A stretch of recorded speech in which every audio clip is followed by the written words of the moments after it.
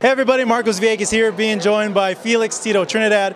Him, of course, being inducted here into the Nevada Boxing Hall of Fame. Tito, congratulations first off. It's an honor, well deserved for you. For you, having the career you had, what's your favorite moment, moment that sticks out for you in your career? Para usted, ¿cuál es el momento favorito de tu carrera que todavía piensas en?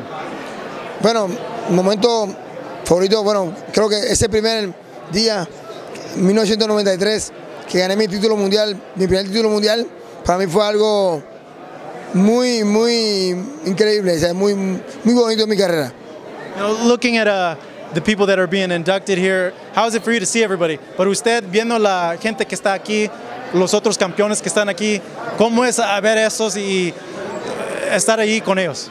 Bueno, me siento muy contento, muy honrado de estar aquí con todos estos campeones mundiales que están aquí con- conmigo.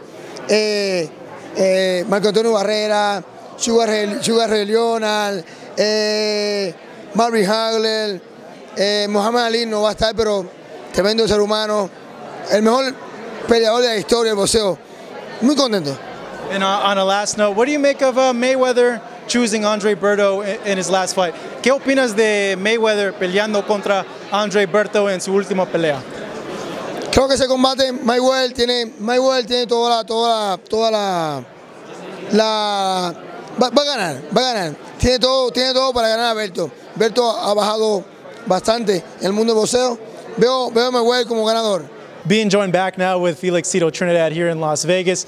Felix, uh, question given your experience and your expertise in boxing, looking at Floyd Mayweather's style, how do you beat a style like that in your opinion? Felix, uh, hablando de tu experiencia como un peleador y viendo el estilo de un Floyd Mayweather, ¿cómo se gana y pu- puede ganar contra un estilo de Floyd Mayweather? Wow, Mayweather se ha dado con muchos estilos.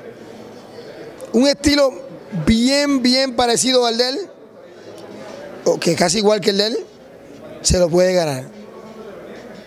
Igualito a él, igualito.